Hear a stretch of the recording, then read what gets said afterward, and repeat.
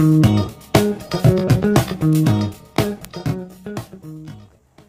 Sobat Kreatif, siapa yang tidak mengenal Pasca Ungu? Pasca gempa mengguncang kota Palu pada tanggal 28 September lalu, Pasca dikabarkan sempat hilang kontak dengan keluarga. Namun, ternyata isi percakapan WhatsApp Pasca yang saat ini menjabat sebagai wakil wali kota Palu dengan adik kandung tersebar ke publik. Dan syukur Alhamdulillah Pasca dan keluarga selamat dari bencana tersebut.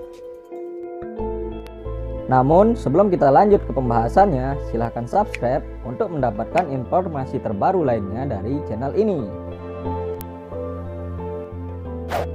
Dikutip dari tribunjabar.id, chat WhatsApp sekaligus SMS Wakil Wali Kota Palu Pasca Ungu bocor di media sosial. Pada chat WhatsApp dan SMS tersebut, Pasca Ungu mengabarkan kondisinya setelah selamat dari gempa dan tsunami Palu. Chat WhatsApp Pasa Ungu sempat dibocorkan adiknya Ane Putri Said melalui Instagram. Pada chat WhatsApp tersebut, Pasa Ungu mengabarkan kondisinya dengan sang istri Adelia Wilhelmina. Pasa Ungu mengaku baik-baik saja, termasuk Adelia dan ajudannya dalam keadaan baik. Pasa Ungu pun mengaku tengah berada di posko pengungsian. Selain itu, Pasa Ungu pun meminta sang adik untuk menjaga ibunya. Ia memastikan agar tak perlu mengkhawatirkan kondisinya.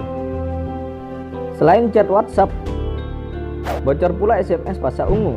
SMS Pasa Ungu itu dibocorkan Enda Ungu melalui Instagram. Melalui SMS tersebut, Pasa Ungu mengabarkan dirinya selamat dari tsunami Palu. Pasa Ungu pun mengabarkan di Palu masih diguncang gempa susulan.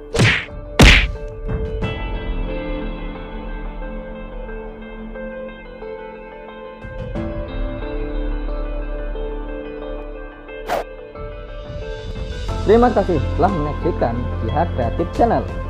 Saksikan informasi terbaru lainnya dari channel ini.